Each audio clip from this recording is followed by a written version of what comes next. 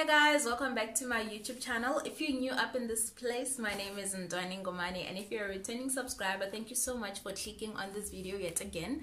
Um, thank you guys so much for your engagement on YouTube, on Instagram. You guys are amazing. Um, I love how you engage with my content. I love how you engage with, you know, like stuff I have to say and all of that.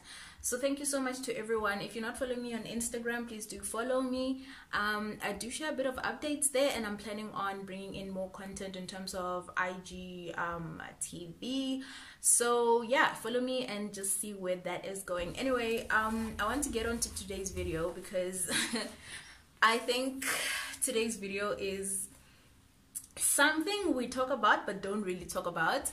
Um, and you know if you know someone who's in audit or you know someone who has um, been in audit before they will tell you how you know it's not a number one choice that they stay in audit. They will always try we will always i say we because i'm also part of the trainee group right? We will always try to find another kind of job that we can do after articles than stay in audit i've actually had people say I'd rather be unemployed, or people say I'd rather die than be in audit or stay in audit. So it must be pretty hectic, right? But I just want to put a disclaimer that I'm not speaking on behalf of any audit firm, I am not speaking on behalf of any company or you know a specific entity. I am just here to share my experience from um, what I've seen, what I've heard from my mates, also who are in audit, my mates who have left audit and yeah that's that's just what it is. Anyway let's get on to today's video. So the first thing um the first reason why i think trainees don't want to stay in audit is the long hours. It is no secret that in audit we actually work extremely long hours. I don't know if there is any other profession out there that does like really really long hours like we do. Especially when you're still a trainee you work the most longest hours. Um, this mainly happens during busy season. So basically busy season is when um, year end of companies have occurred and then we now go in and start auditing them and then they need to report within a certain time frame after their year end right? So our busy season is normally during January, February, and March, and that's why we work extremely long hours, guys. If you know anyone in audit or you are in audit, you know what I'm talking about. We work like really, really long hours, including Saturdays, Sundays, holidays. Uh, basically, you could work Sunday to Sunday, 8 to midnight, you know, consecutively. So, the really long hours just a turn off for a lot of us because we're young man. We want to live we want to go out there and do things. And if you're working you know day night there's just no chance for you to to do other things that you really love. So i think after three years we're all just fed up with that and we just believe that you know the grass is greener on the other side. Even though we don't know if it is greener but i think a lot of us just generally don't want this to be our lives. You know, you don't want to work Monday to Sunday um, all day, every day, at night, and just go home for like a two hour nap, and then you have to get up in the morning and doing it all over again. So, long hours are definitely a turn off for trainees, and that's the main reason why we don't want to stay. Second thing is work life balance, or maybe let me say the lack of work life balance just like I said with the hours, I mean, we're young, you know, um, we're creatives if you're creative, or we have other interests that we want to explore, especially now that we're so young, you know. So we need that flexibility in terms of our work to be able to, you know, like go out and see other things in life. So when you're in audit and you're working the long hours, there's really no chance for you to, you know, squeeze in stuff that really make you feel alive so there's like limited time to go see family. Obviously we do have leave but during busy season try to get leave. It's it's a nightmare. You will probably not get leave during busy season because they just need all hands on deck and i just feel like that is a turn off for trainees that after the end of three years you're just like i don't want this life you know? So yeah there's no work life balance guys. Um it does get better though when after busy season because now things settle down and then people start taking leave. That's when you can also take leave a little bit. And but at the end of the day it's still audit. Um, after one deadline there's gonna be another there's gonna be another. So audit is basically a continuous deadline that you just keep chasing and keep chasing and keep chasing. So after three years we're all just like no my guy. Third thing is the work environment. And yo guys i can go on and on about audit work environment. And if you are in audit you know exactly what i'm talking about. If you know someone in audit you know what this is. They probably complained about it.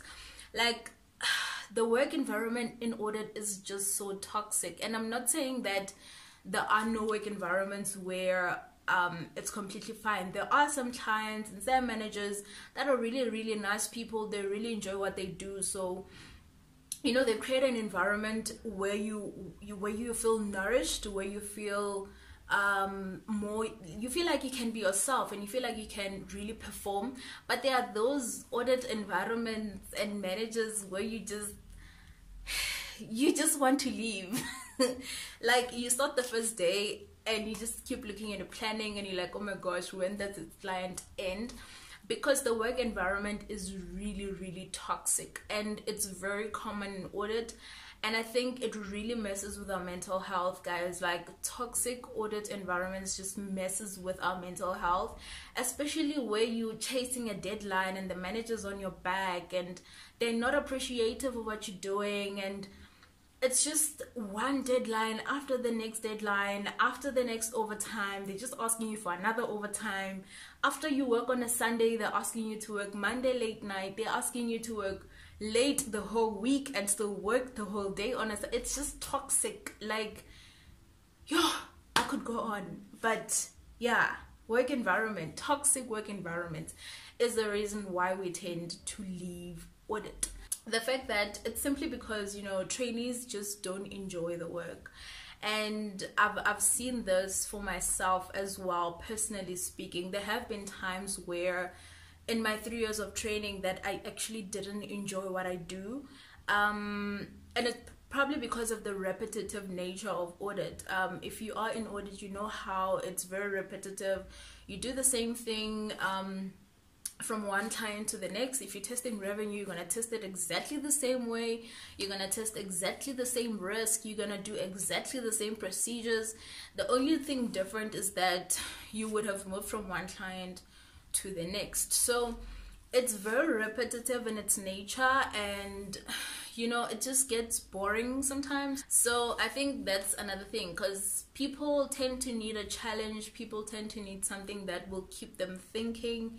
There's little space for that in audit honestly and i think that brings me to my last point that there is just a lack of creativity in audit. Because of how we just tend to follow standards we just tend to follow the IFRS, we follow how all the, the procedures that, you know, um, the firm wants us to do or the ISAs wants us to do. So there's little room for you to be creative um, to say, huh, this is the risk. How can I approach this?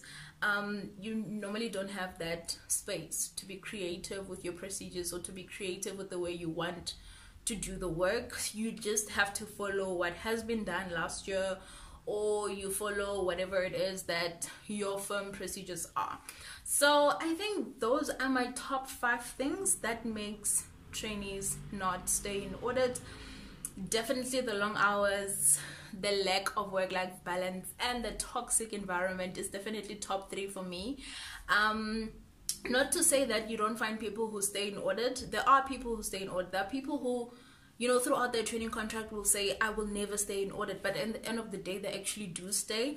And for me, I like to believe that it's circumstantial, honestly. Um, I, I don't know, but I'd like to believe that, you know, circumstances change and you think, I'm to have a lot of opportunities. And then sometimes you don't get those opportunities and um, you have no other option than to stay um, while some people actually do really enjoy auditing and you really find people who really love this thing you know and it's not a bad thing. Like if you really really love it then stay. There's no reason for you to leave something that you love because majority of the people don't like it you know? Um, i know one or two people who were um, academic trainees in their first years um, of articles they joined auditing and they fell in love with it. And they stayed to become managers senior managers um, ads so there are people who actually just have a passion for this thing and they really have a passion for coaching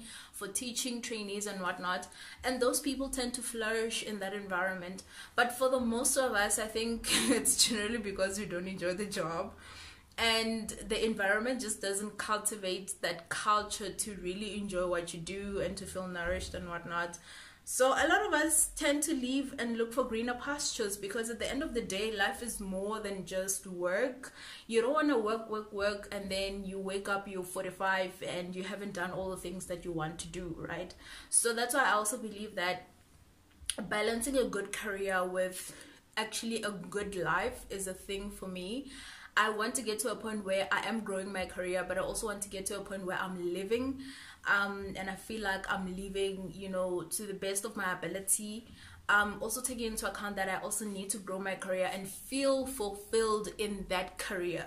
You know what I mean? So yeah, those were my five. Um, I wanted to say tips, but those were my five reasons why trainees do not stay in audit. And feel free to add more if you think I left out some things. Obviously those are just five things. There could be a number of reasons why people don't stay in audit. Otherwise I will see you guys in my next video. I hope you enjoyed this one. Please do drop a comment and add anything else that you want to add. And yeah I'll see you guys in my next video. Bye